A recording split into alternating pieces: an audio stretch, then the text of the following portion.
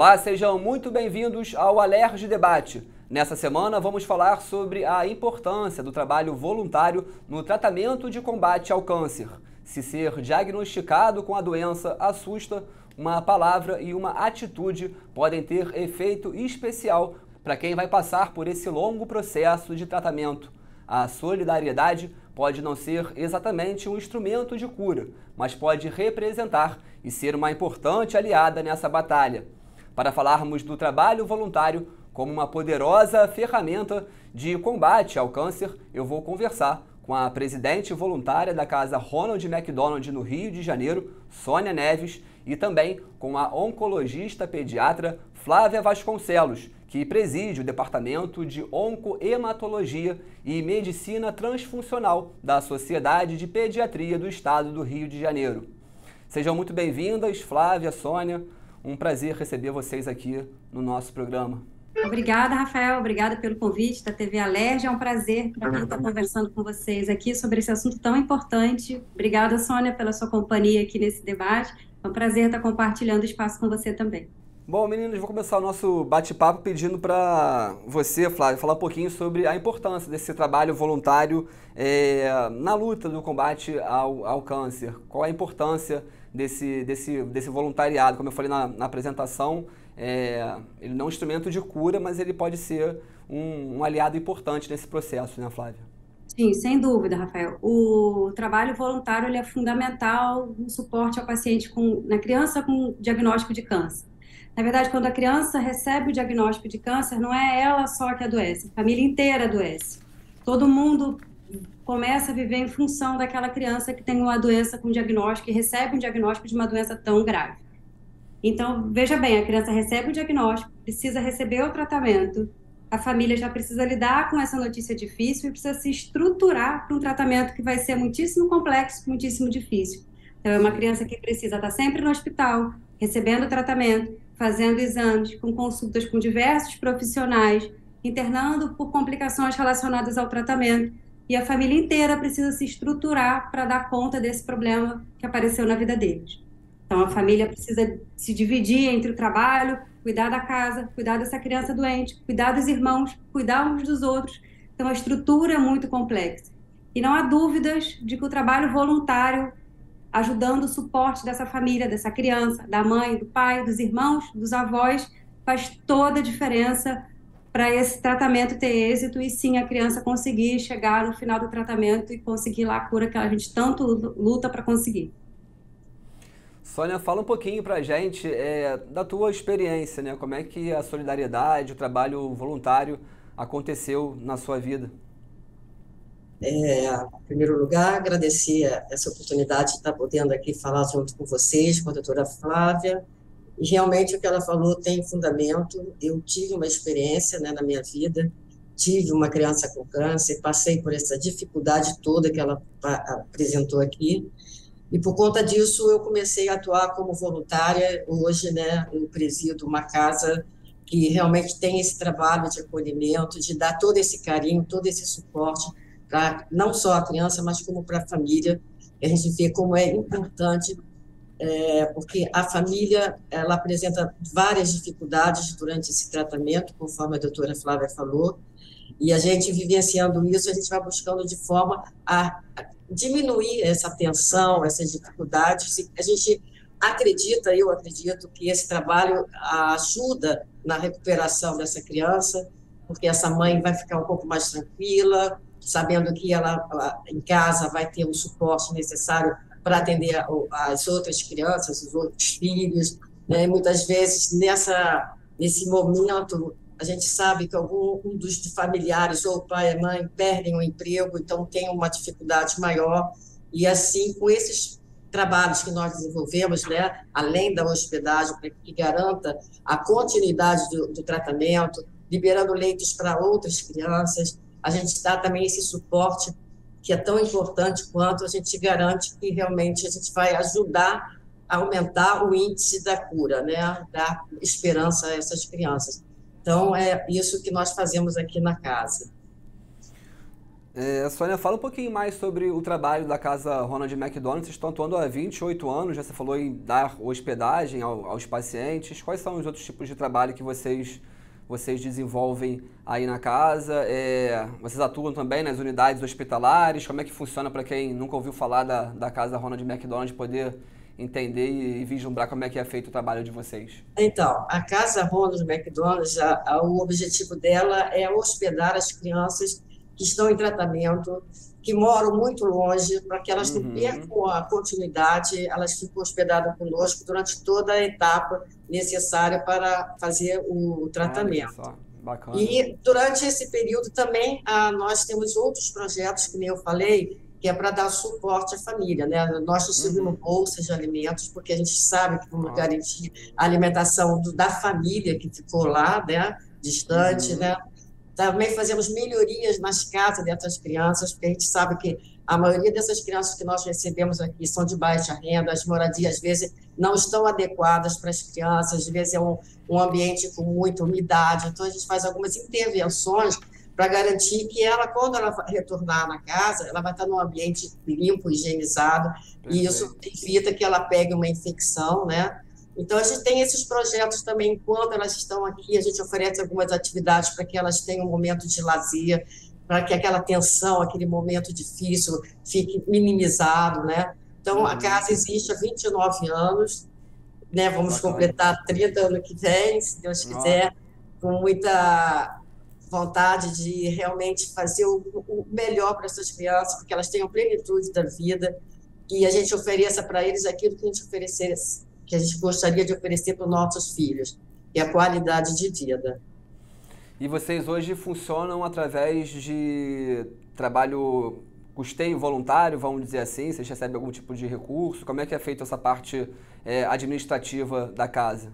Então, o nosso trabalho ele é todo voluntário e para puxar nós temos vários é, projetos que nos ajudam, né?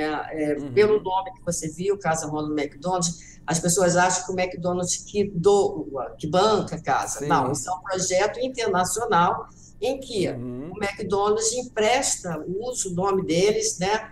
No Mac Dia Feliz, por exemplo, que é onde a verba desse dia é toda arrecadada para a gente, que corresponde ah, de 30% a 40%. O resto nós temos que buscar recursos de outras formas, né? através de feira, bazar, eventos externos, uhum. mesmos contribuintes, para garantir os outros 70%. Né? Porque a gente tem uma, hoje a casa é bem grande, nós temos 39 suítes, as despesas são grandes, então uhum. a gente busca esses recursos. Mas o trabalho voluntário é fundamental, porque é ele que nos ajuda a receber as pessoas, divulgar o nosso trabalho, explicar essa relação com o McDonald's que as pessoas ainda acham que, né, que nós não precisamos, que nós somos uhum. livres, não tem nada a ver.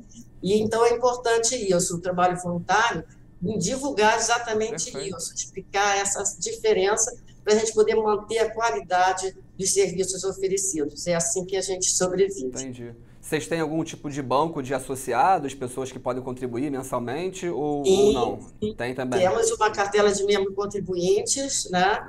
É, pessoas que podem fazer doações é, esporádicas através de Pix, né? Doação. É, é, nós temos um site onde a pessoa pode escolher a forma que ela quer ajudar. Né? Ela entra lá, pode fazer uma doação recorrente, aí ela pode ver nossos projetos todos e ver de que forma ela pode ajudar, doação de alimentos, que é importante para a gente, até para manter a bolsa de alimentos. Uhum. Tem várias é, redes sociais também, as mídias, Instagram, a gente está sempre postando lá, a gente vai fazer, inclusive, Boa. agora, semana que vem, um bazar só de roupas novas para garantir aumentar nossas receitas e a gente poder oferecer o melhor para nossas crianças. Essa é a nossa intenção, sempre.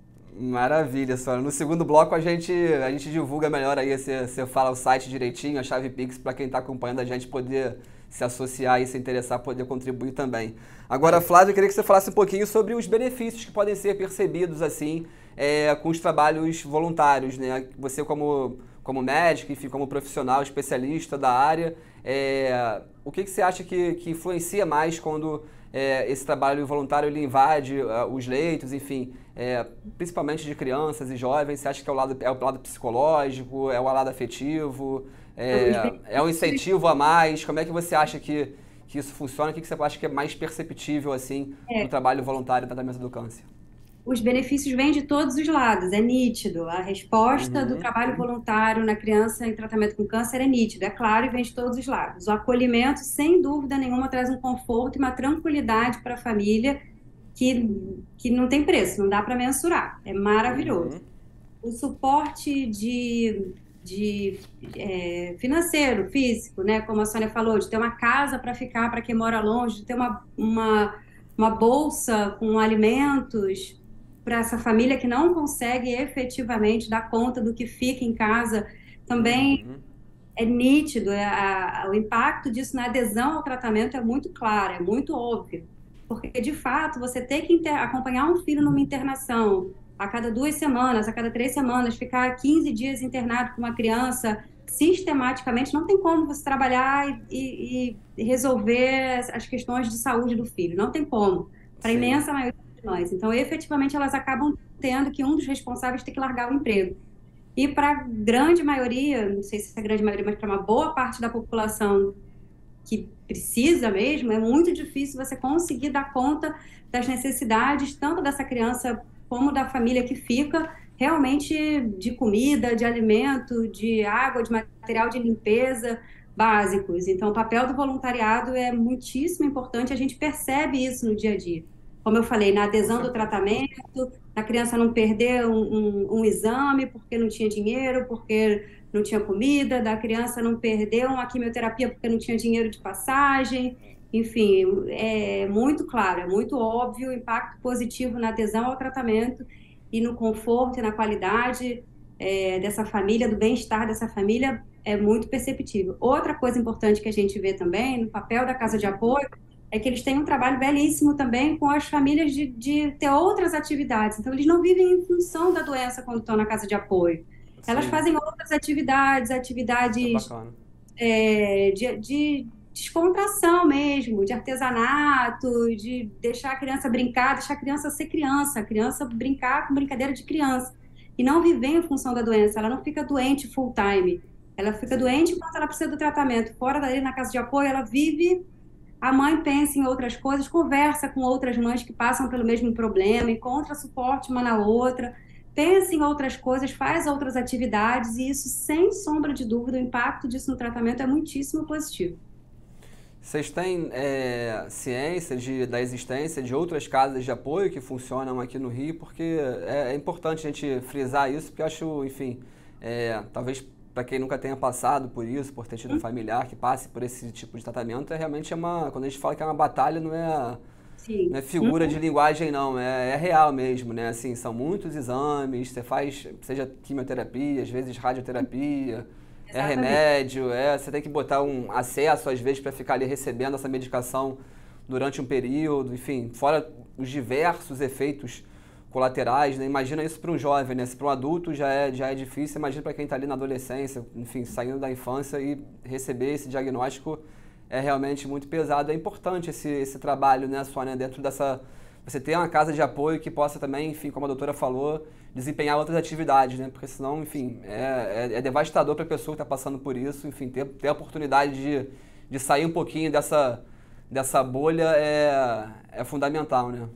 É, Flávio, é, que nem eu falei para você, nós aqui desenvolvemos várias atividades para essas crianças e para as mães, justamente para suprir esse momento difícil que elas estão passando. Então, a gente tem algumas salas de, de, de recreação, nós temos uma sala para os adolescentes, só para os adolescentes, porque eles não gostam de ficar com os pequenininhos, porque eles reclamam que os pequenininhos atrapalham, né? Então, eles têm acesso ali. Tem a sala de biblioteca, que eles podem escolher DVD, livros para levar para a suíte dele. Temos a, uma, uma sala de recreação, uma área externa pequenininhos, onde eles têm ali acesso a vários brinquedos, várias é, é, dinâmicas, né, conjunto com os voluntários, para realmente tirar da cabeça dessa criança, até dessa mãe também, esse momento difícil, elas poderem ter realmente um emocional elevado e pensar só nas coisas boas. Né? Então, voltando à importância do voluntário, que é justamente essa, de estar ali sempre conversando, oferecendo é, dinâmicas, é, artesanatos, que nem a doutora Flávia falou, a gente tem uma, uma voluntária específica para isso. Então, enquanto elas estão ali trabalhando, elas estão pensando nas coisas boas, nas coisas que ela pode aprender e depois, quando ela retornar, se Deus quiser, um filho curado, que ela possa até ter, usar aquilo como uma maneira de ter um dinheirinho a mais, então, a gente uhum. pensa nisso tudo, né? A gente tem também terapias, temos também é, uma voluntária que faz massagens nelas toda terça-feira. Tudo que a gente pode oferecer para melhorar a qualidade de vida, não só da criança, mas como da mãe também, porque ela precisa estar bem para cuidar do seu filho, a gente procura fazer. Então, a gente tem Perfeito. todas essas dinâmicas e a gente está muito feliz em poder realmente ver muitos sucessos, muitas crianças que, através desse trabalho da casa, conseguiram dar sequência ao tratamento e hoje estão curadas, casadas, inclusive com filhos, que vêm nos visitar aqui. A gente fica muito feliz com esses exemplos de superação. Bacana. Legal a gente poder ver esse, esse brilho nos teus olhos quando você fala, Sônia, sobre o teu trabalho aí. É, imagino que você tenha... Você sofreu um pouco isso na pele, né?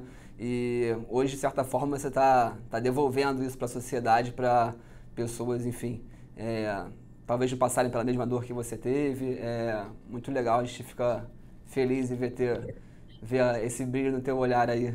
Realmente, é, eu fico super muito contagiada, porque quem vive isso, né? A gente, eu não tive a felicidade de conseguir ter meu filho curado, mas só a, a felicidade de ver outros, né, conseguirem é, a vitória, isso me deixa muito realizado, muito realizado. Por isso que eu falo muito assim, eu me emociono sempre, né?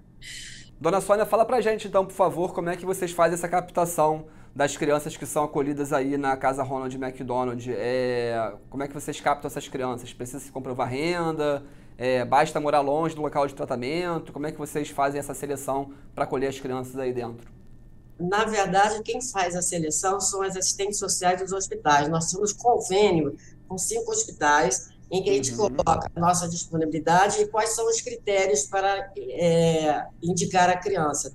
Em primeiro lugar é a distância né, da criança, a segunda, a dificuldade de, de locomoção, essa da, da, renda também é uma delas, mas o mais uhum. importante realmente é a, a distância para que ela não possa perder o tratamento. Mas quem indica é a assistente social que liga para a nossa casa e vê a disponibilidade e os critérios que a gente vai usar, porque é uma criança que tem é, dificuldade é, física, então a gente tem um quarto específico, né? Perfeito. Então, indicamos, a gente recebe a demanda e a gente uhum. vai disponibilizando nos quartos. Desculpa. Bacana. Flávia, é, a gente pode dizer que a, que a redução da taxa de abandono no tratamento, ela também, esse, esse trabalho voluntário, ele também está tá associado a isso? Assim, você acha que quanto mais trabalhos voluntários, quanto mais esses exercícios têm que ser praticados diariamente, e também ajuda a diminuir essa taxa de abandono no tratamento. E queria que você falasse se sim, né? É, quais são também, para você, as principais causas é, que fazem a pessoa em tratamento abandonar esse, essa batalha aí? Sem dúvida. Sem dúvida, o trabalho voluntariado tem um papel muitíssimo importante no abandono. Uma das principais causas de abandono de tratamento realmente é a condição financeira, é a falta de condição financeira, de suporte social para dar conta realmente dessas questões que a gente está levantando aqui. É sem dúvida a principal causa e a falta de e as famílias que não têm suporte, não têm acolhimento também, estrutura emocional para dar conta desse desafio aí do, do diagnóstico, do tratamento do câncer, também contribui bastante para o abandono do tratamento. Então, o papel do voluntário é muitíssimo importante a gente sabe que o tratamento oncológico envolve várias, várias etapas, né? Vários atores influenciando no tratamento.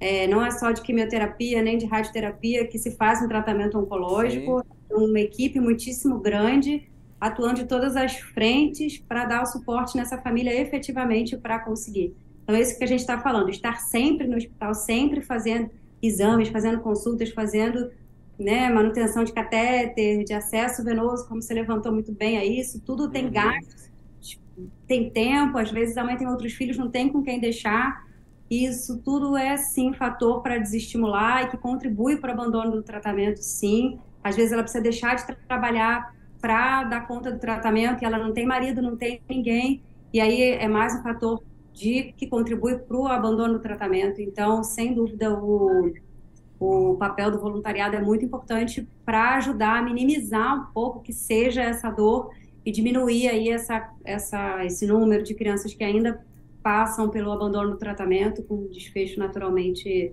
é, pior. Sônia, você acredita que essa também é a grande vitória da casa da Ronald McDonald, essa diminuição na taxa de abandono de tratamento? Então, a casa ah, ah, foi feita justamente para isso, né? Para liberar leitos para outras crianças que realmente precisam de internação. Às vezes, o tratamento não precisa ficar internado, é só ir lá fazer uma quimio de duas, três horas, né? Uhum. E isso, ela podendo voltar para casa e tendo todo esse aconchego, né? Vai evitar dela abandonar o tratamento. Com isso, as chances são maiores. Então, eu acho que a casa, o trabalho que nós desenvolvemos, ajuda sim a melhorar o índice de cura. Né? No, a gente pode até fazer um levantamento, a gente, uh, o percentual maior das crianças atendidas na casa aqui são do INCA, né? Uhum. E uh, a gente tem esse levantamento, nós temos um sistema onde a gente coloca assim o número de crianças que já venceram, então a gente tem um resultado muito positivo de, em relação ao total de crianças que nós já recebemos na casa, com, ah, com o percentual das que já estão fora de tratamento, é muito elevado e a gente fica feliz de saber que realmente o acolhimento é, ajuda no tratamento por todas essas dificuldades que a doutora Flávia colocou, que realmente existe, a gente vivencia isso.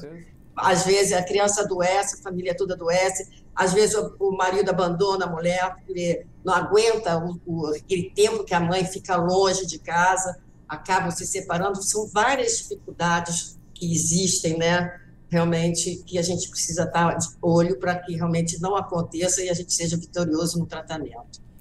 Você tem de cabeça, Sônia, mais ou menos assim, por alto, quantas crianças você já atenderam né, ao longo desses 30 anos, assim? Qual é a porcentagem de, enfim... Que, Sim, olha, nós já atendemos eh, já 3.200 e poucas crianças, né? Agora, eu não tenho, assim, o número das crianças todas que já, uhum. já se foram, né, pra, lá para o céu? Claro. né? Mas eu posso garantir que o, nós temos em torno de 60% realmente que estão fora de tratamento, porque curado a gente não pode dizer, a doutora Flávia pode dizer isso. Existe aquele período que a gente precisa, de repente ela pode ter uma, é, uma volta do, do, do da doença, hum, a gente não pode garantir que está curado, mas a gente claro. tem um grande percentual em relação ao total das crianças que a gente já recebeu. Para a gente fechar esse bloco, pegando esse, esse gancho da, da Sônia, Flávia, fala um pouquinho sobre é, esse período depois da cura, é, existe, é correto a gente afirmar que quem passa pelo câncer ele está sempre em tratamento constante, vamos dizer assim, ou de fato você acha que pode chegar ou bater o martelo e ah, está curado e a pessoa sempre tem que ter voltar ali, pelo menos por um período, para ter para afastar de vez esse perigo de, de reincidência, né?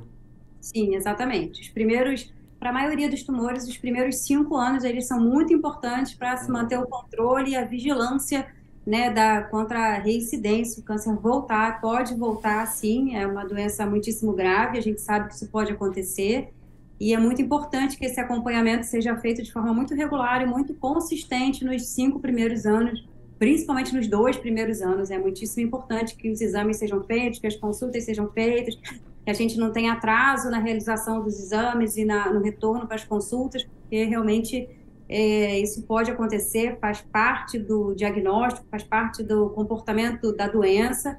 Então, é muito importante que essa vigilância seja feita. A gente não pode afirmar que, de fato, como vocês estão falando, que a criança fica curada quando ela termina o tratamento. Ela precisa ainda dessa vigilância. Quanto mais o tempo vai passando, mais tranquilo a gente vai ficando, mas a gente sempre mantém um radar ligado, pelo menos nos primeiros cinco anos. Para algumas doenças, a gente estica esse elástico um pouco mais precisa manter até 10 anos de vigilância, porque a gente sabe que algumas doenças têm a, têm a característica de voltar mais tarde, numa, num período mais tardio, com mais anos de controle. Então, a gente aumenta esse radar aí no tempo para algumas crianças com algumas doenças. Mas, sem sombra de dúvida, é muito importante manter essa vigilância, até porque se a doença voltar, quanto antes a gente percebe, claro. quanto antes a gente reinicia o tratamento, melhores as chances para ela. Perfeito. Vou fazer uma pausa na nossa conversa e na volta do intervalo a gente continua a conversar e falar um pouquinho sobre a importância do trabalho voluntário no tratamento de combate ao câncer. Não sai daí não, é um minutinho só.